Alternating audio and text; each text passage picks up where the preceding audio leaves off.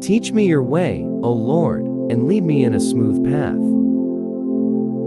Trouble often lies ahead when we go down unfamiliar roads. I know a teenager who decided to take a different way to work one morning.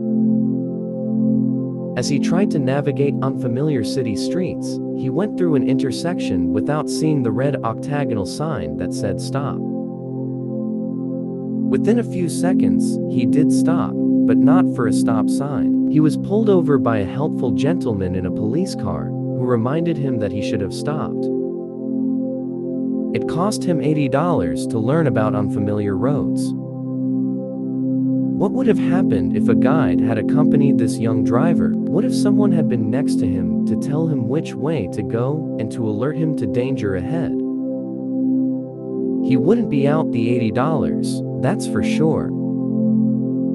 In life, we often have to walk down unfamiliar paths, paths that may feel threatening. So how do we do that without making costly mistakes? We take someone along who knows the way.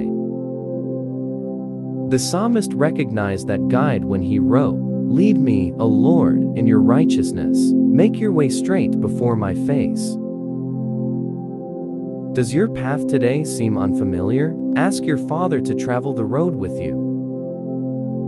Take Jesus with you as your faithful guide. You cannot fail when he is at your side.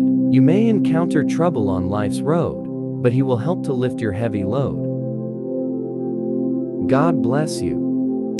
This message contains something that could change your life.